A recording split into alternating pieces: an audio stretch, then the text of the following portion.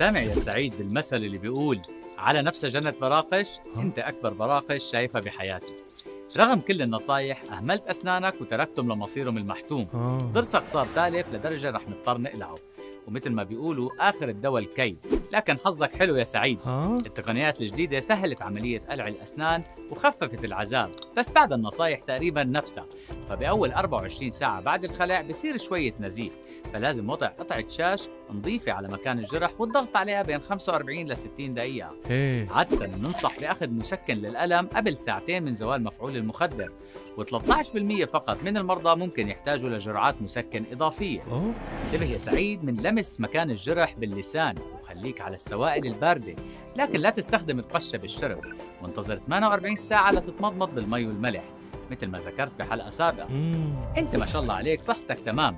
ولكن ضروري الناس اللي بياخذوا أدوية أو مصابين ببعض الأمراض مثل السكري والقلب والالتهابات وسيلان الدم وارتفاع الضغط وأمراض العظم أن يخبروا طبيب الأسنان قبل إجراء أي قلع مساكم دوم بصحة وسعادة.